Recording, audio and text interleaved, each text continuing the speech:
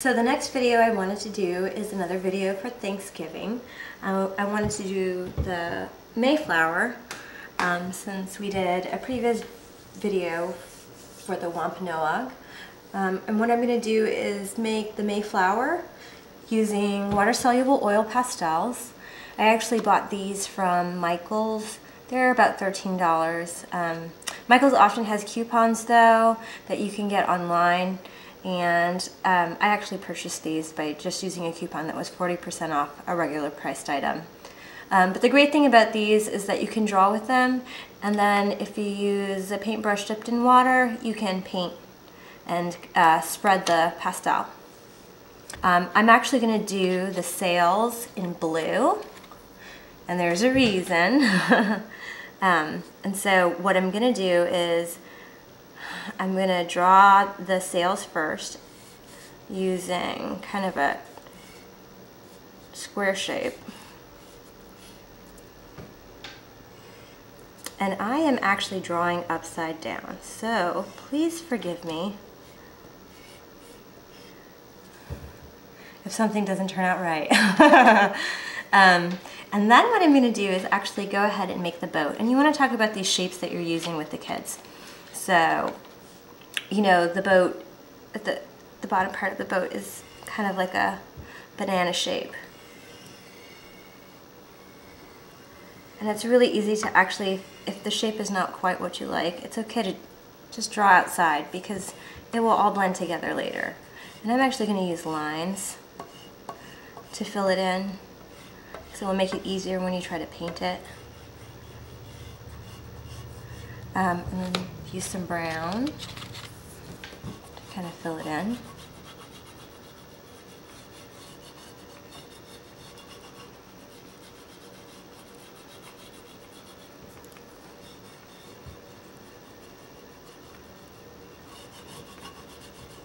I'm going to use various shades of brown uh, just to give it a little bit more pop. And I'm going to make this picture at night just to give it a little bit more interest to the picture. Um, and then also what you can do is go ahead and make the mast.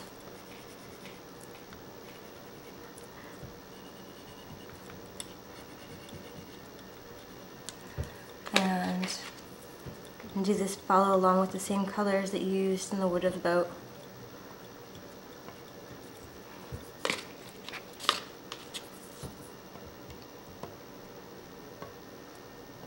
And then what I'm going to do is actually go around the sails. The reason why I outline them is to kind of give them some, a buffer once you actually start painting. Um, I'm going to make the moon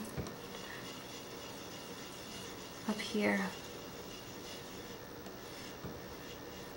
And then going to fill it in with some, I'm going to start by doing the ocean first and I really want the ocean to be some you know, dark colors again using the lines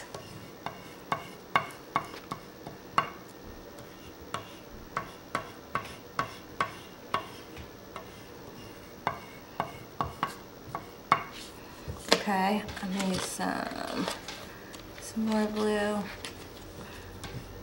different shade.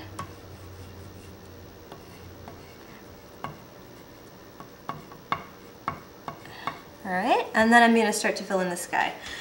So basically what I'm gonna do is color in lines around it, okay? And the, you wanna encourage them to do lines just because um, if you kind of like do a squiggle, you end up being able to see it if you don't completely use water or if you haven't used an excess amount of oil pastel. Um, and the thing is, it just, a, a, little bit goes a long way, so they don't have to color very hard for this to all spread. Um,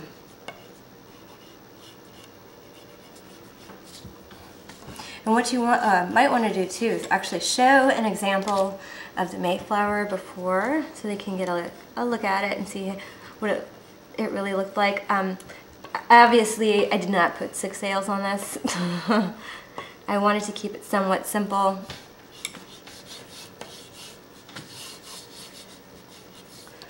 Uh, all right, and now I'm actually gonna add some black to the water just to make it a little bit darker. And actually just a little bit through the sky as well. I'm gonna outline the sails just a little bit.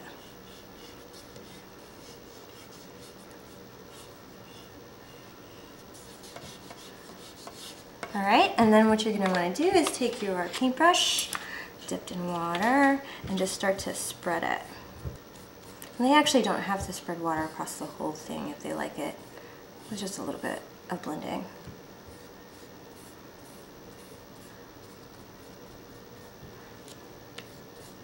Kind of adds a unique texture to it.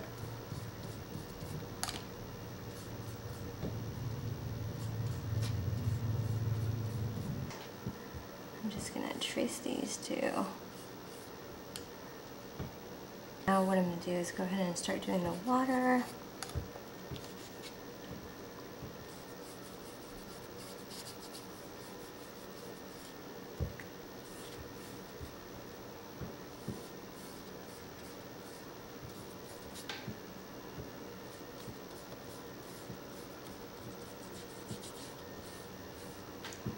And I'm gonna do the boat. And I actually have a separate brush for the yellow because it's such a light color and I don't want to mix the colors. Um, that my, my water is turned one and also the colors that might still be on the paintbrush even after I wash it. Um, um, and then I'm gonna go ahead and do my moon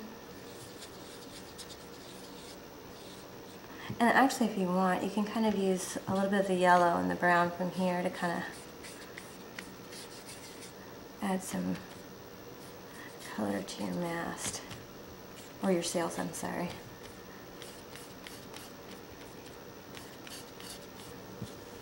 And there you go, the Mayflower.